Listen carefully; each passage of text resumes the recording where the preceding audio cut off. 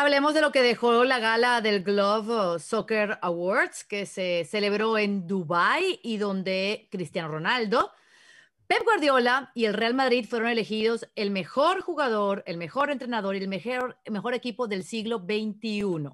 Y hablemos de esto porque eh, Cristiano en la votación le gana a Messi, le gana a Ronaldinho y le gana a Mohamed Salah. Y yo quiero que Mauricio y Andrés me digan de qué se trata este premio, porque desde que existe en 2010, Cristiano siempre ha ganado el reconocimiento.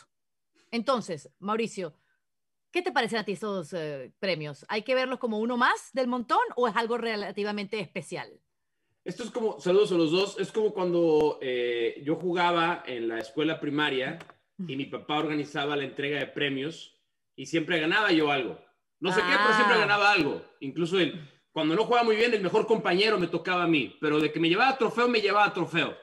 Y, creo que así es como tenemos que divertirnos con esta entrega de premios a Cristiano Ronaldo, porque lo organiza alguien cercano a Cristiano Ronaldo. Sí creo, y le agradezco a esta gente que organiza la gala, porque parte iban muy bien vestidos, y luego Ronaldo todavía tuvo el gesto del mejor futbolista del año, cedérselo a Robert Lewandowski en un derroche de humildad para ustedes, que dicen que Cristiano no es humilde tomen ese trofeo que le dio a Lewandowski.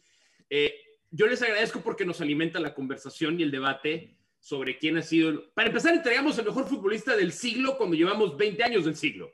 ¿no? O sea, ya, ya, ya de entrada, ya la, la, la, codificación del premio es bastante cuestionable. Ya el nombre está mal.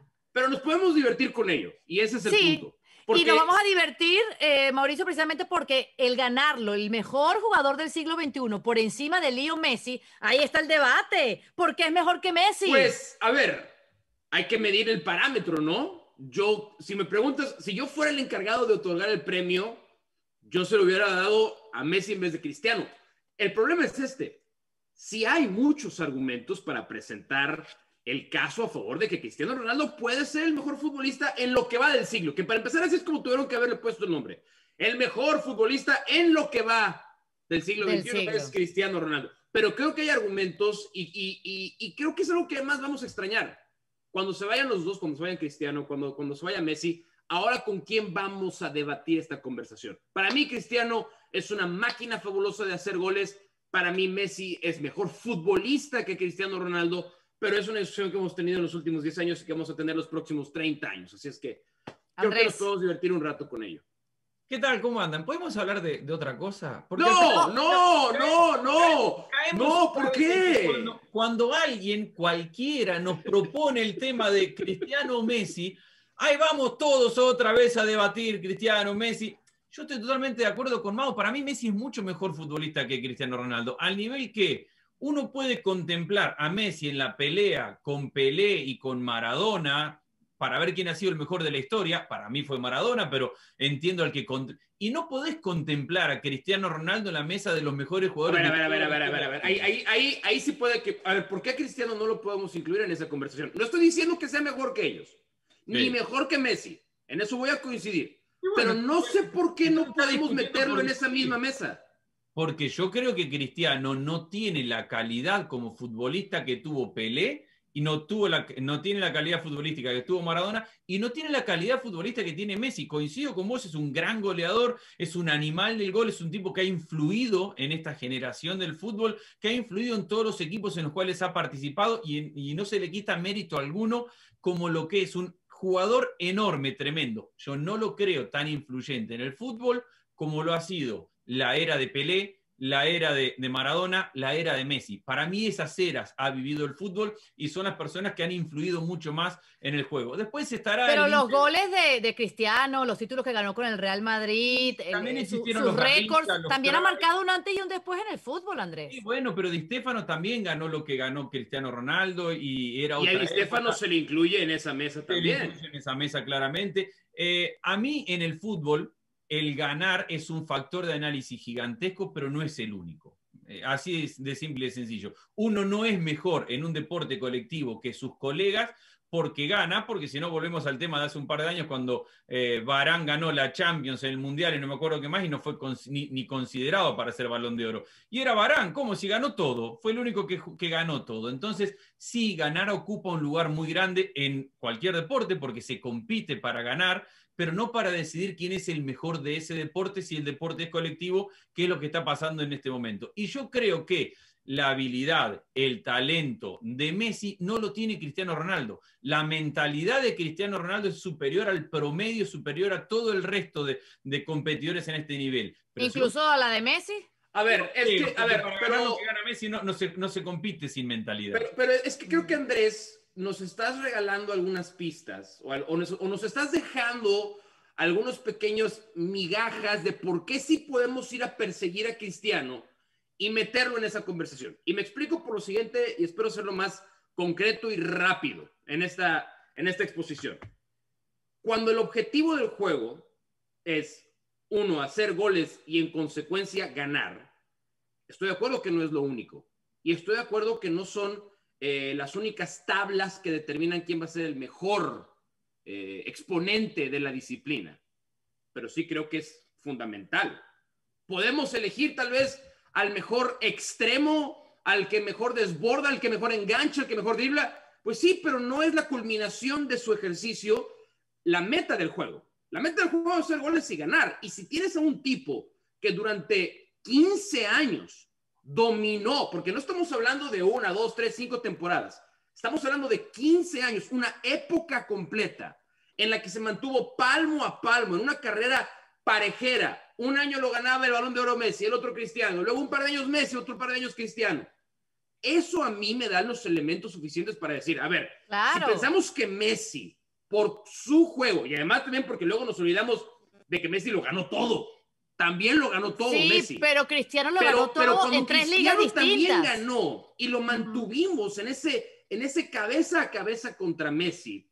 Esas cosas que hizo Cristiano, que hace todavía Cristiano, que son lo que determinan los resultados finales de un partido, de un torneo, para mí sí son tablas lo suficientemente poderosas como para llevarlo a decir, ah, ok, si compitió entonces a este nivel con Messi y Messi pensamos que está al nivel de Pelé y Maradona, pues el único futbolista de esta época que podemos equiparar a Messi es Cristiano. Pues entonces también llevamos a Cristiano en esa conversación. Porque precisamente eh, Messi no ha ganado fuera del Barcelona nada. Y Cristiano ha ganado con el Manchester United, con, con Real Madrid, con Portugal ah, y sigue ganando con la Juventus. Entonces, en ese sentido, ha ganado más que Messi.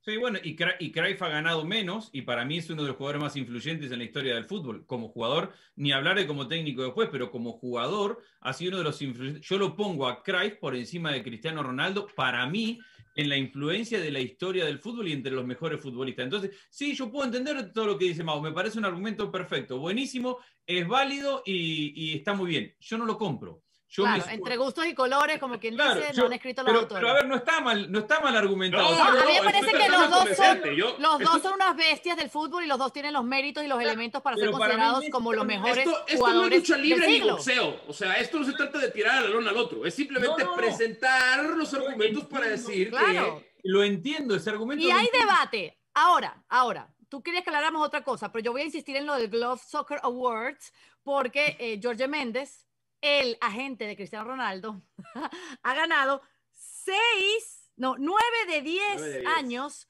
al mejor agente del fútbol. Entonces, esto parece, parece así como que preparado, ¿no? Yo puedo decir dos cosas de eso. Uno, él, es el, dueño de la, de la ceremonia. No. Que, la empresa que organiza esta ceremonia tiene a Jorge Méndez y a Cristiano Ronaldo como accionista importante. Y dos, es que Jorge Méndez ha sido el mejor representante de jugadores en la última década. es verdad. Ah, bueno, lo mismo pasa con Cristiano. Bueno, no, yo creo que no. Yo creo que Jorge Méndez es el mejor representante y que Messi es el mejor jugador de, los, últimos, de los últimos años. Yo entiendo, Carito, que tu madridismo. Me, no, no, y yo también entiendo que tu argentinismo, que tu argentinismo. Yo no te había sacado tu bandera, Andrés. no te había sacado tu bandera y caíste, mordiste el anzuelo. Mauricio. Cristiano Ronaldo. No, y yo evidentemente me identifico con los que nos parecemos y los que, los que privilegiamos la estética de nuestro cuerpo, también así como Cristiano Ronaldo. A lo mejor también es mi bandera en este caso para defenderlo. Bueno. No hay respuesta correcta, porque es subjetivo.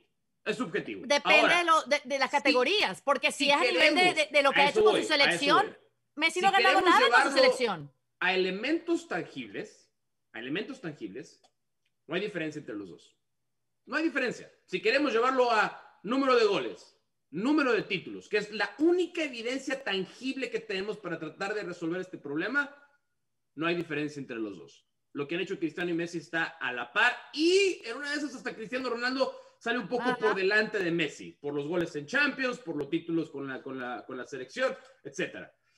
Pero esto es un poco también como el cine. Hay una película que te puede gustar a mí que no me puede gustar a mí. Roma ganó el premio a la mejor película y en el propio México el 50% de las personas que la vieron no les gustó. Y entonces está bien, sí es un tema subjetivo. Hay quien prefiere a la máquina de hacer goles consistentemente y está también el otro el que prefiere la estética de Messi. Y, y voy a rematar con esto.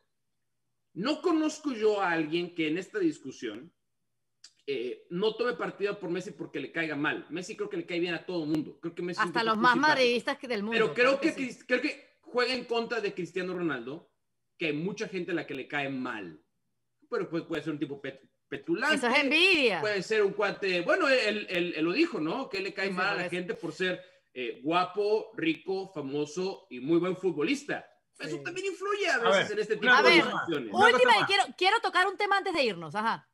Una cosa rapidito es, si vamos a analizar y solamente vamos a decir el que gana y el que no gana, me parece que nos quedamos cortos en un análisis que es mucho más profundo. Cristiano Ronaldo ganó con Portugal la Euro, buenísimo. En la final no jugó, tuvo Sí, que pero sin, sí, sí, Andrés, pero sin Cristiano no llegan a la final. Ok. Exacto. Messi no ganó nada con la selección, perdió dos finales de Copa América por penales. Entonces, cargarle a Messi o a Cristiano Ronaldo el ganar o perder una final, me parece que es darle demasiado mérito o crédito a ganó o dejó de ganar con su selección. Cuando Está uno bien, pierde dos Está finales bien, por pero no penales. la podemos dejar fuera del análisis. No, pero digo, pero no podemos decir que Cristiano es inmensamente superior a Messi. a No, pero nadie dijo Messi ha eso. jugado No, Si en una mesa colocamos todo eso, mundial. títulos, goles, estilo, belleza, o sea, si colocamos todo en una mesa, van a estar parejitos, porque son dos bestias de, de- de nuestra generación y probablemente no veamos dos como ellos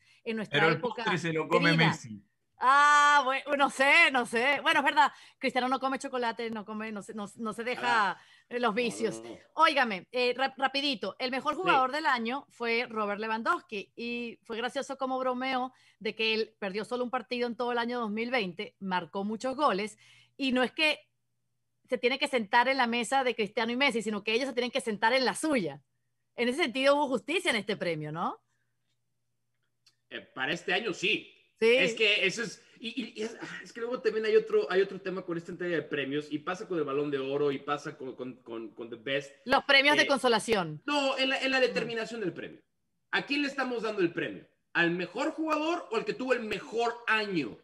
Y luego también, como se entrega eh, con una disparidad de calendarios, porque Ujú. eso se tendría que entregar en mayo, junio, cuando termina el te- la, la temporada futbolística, no al Ujú. final del año calendario, pues la gente se confunde más todavía. Exactamente. Pero sí, el 2020 fue el año de Robert Lewandowski por no nada más la cantidad, porque aquí sí podemos presentar, Andrés, los dos casos. Podemos presentar la cantidad de goles que hizo, la cantidad de títulos que ganó, pero también pasa la prueba del ojo. Robert Lewandowski es un futbolista que te cambia el sentido y, el- y- y determina e influye en los resultados de cada partido en los que está. Que tiene un equipazo atrás suyo, 100%, pero probablemente este equipazo no hubiera ganado al nivel de cómo ganó si no hubiera tenido a Robert Lewandowski. Sí, pero ¿quién se siente en la mesa de quién? O sea, Lewandowski todavía no está a la altura ni de Messi ni de No, Cristiano. No, hay, no, a ver, No hay una mesa. Hay una No, mesa. Ajá, a una mesa. Ok, listo. No, ¿Cree ni, que- ni- que sea la cena de los 300 mejores de la historia entre Lewandowski. Ni que, ni que tengamos una mesa de acá. A ver, Lewandowski es, en eso coincido con Mau, el mejor jugador y encima lo del mejor jugador está supeditado a cantidad de goles y asistencias, porque si uno se pone muy exquisito y muy futbolístico, probablemente Kimmich sea más influyente en ese equipo que Lewandowski. Pero todos coincidimos que estos premios terminan siendo para el que mete más goles y el que da más asistencias del mejor equipo de la temporada. Entonces, no hay debate, pero eso no, no acerca ni, pero ni, ni, ni por mucho ni por poco a Lewandowski a una No élite fútbol a la cual no va a pertenecer. No se preocupen que en unas semanas le vuelvo a hacer la misma pregunta y así sus- por los próximos 30 Hace mucho, años. ¿Quién es el mejor jugador del siglo? ¿Es Messi o es Cristiano?